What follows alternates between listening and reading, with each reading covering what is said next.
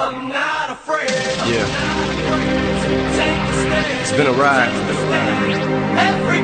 I guess I had to go to that place to get to this one. This. Now, some of you might still be in that place.